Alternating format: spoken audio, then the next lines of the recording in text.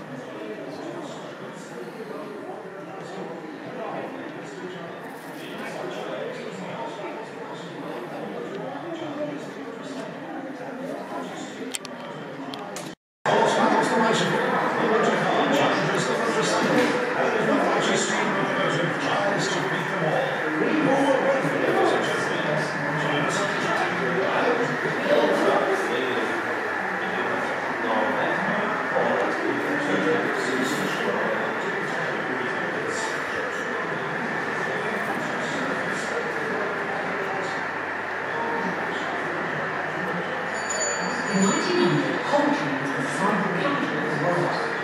The future had twice as many wheels. By 1913, Coventry was home to about 20 car builders. Daimler, Humber, Rover, Swift, Singer and Standard between them made over a quarter of Britain's cars.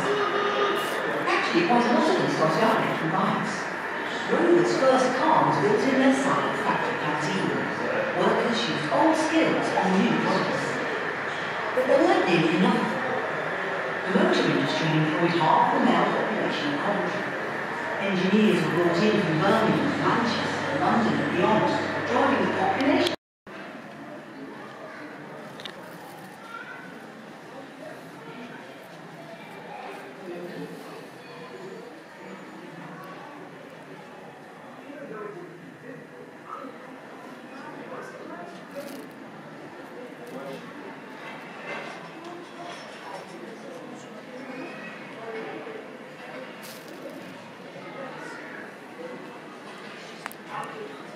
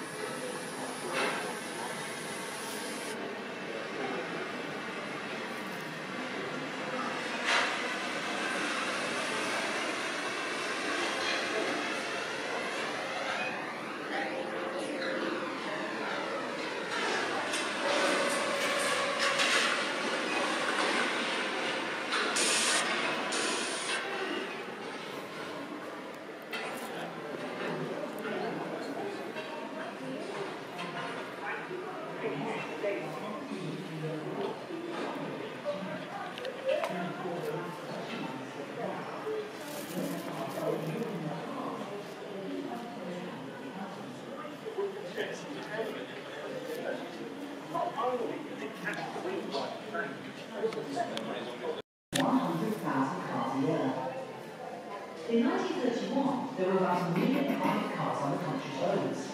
By the end of the decade, there were two million. And even in Coventry, with none of the big boys like Morris and Austin in town, business grew. Standard made 55,000 cars in 1939, nearly seven times more than in 1931. Things were really taking off. And not just business-wise either. Technology and style were coming together at last. Streamlining wasn't just for boats and planes anymore, it was for cars too. And when it met the Art Deco style, the result was that this could turn into this. Advertisers said the new designs were sinuous, swerving streamlines, enduring and satisfying bodywork for a busy age. Everyone else said they were just plain gorgeous. The future of car building in Britain and in Coventry looked bright. Except this was 1939, and trouble is on its way again.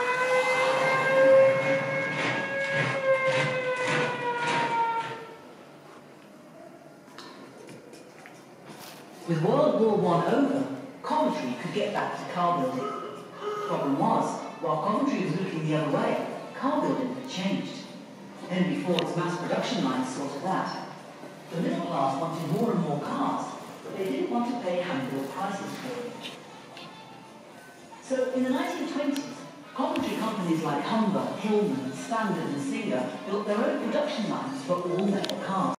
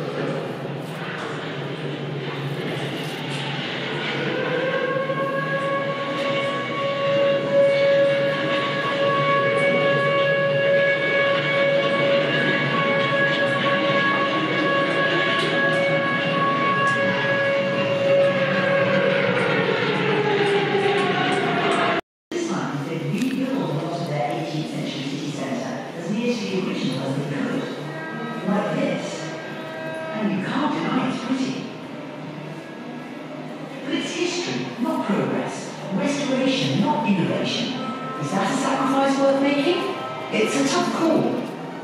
So what would you have done in 1945? Decided to live in history? Or tried to make it?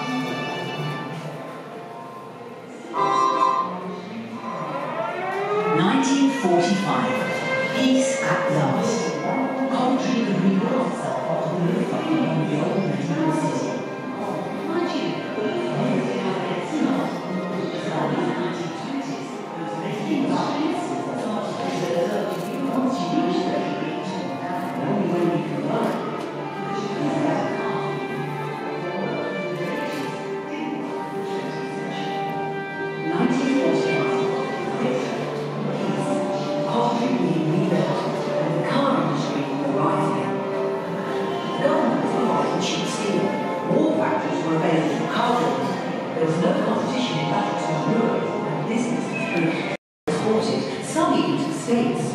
Just over half the world's exported cars were British, and Coventry was a boom town. People flocked all over Britain to work in its factories. earning great wages. But nothing lasts forever. By the 50s, American companies could meet their own country's demand for cars. Then they started to eat into the British market through their UK operations. Ford and Vauxhall, General Motors' British brand, took nearly a third of the market in 1952. With that kind of competition, British builders had to pull together. That year, the Nuffield organisation, built Morris, MG, Riley,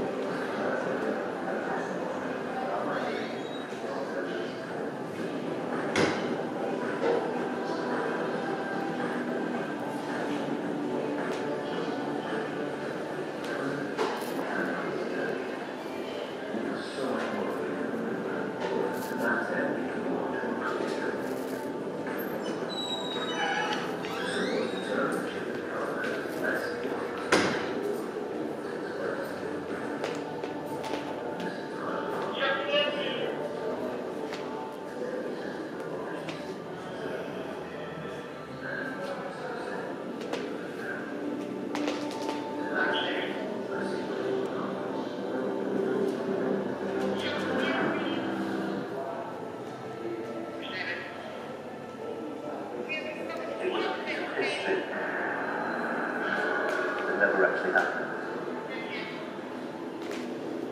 unmistakable song of 12 cylinders in full thrust.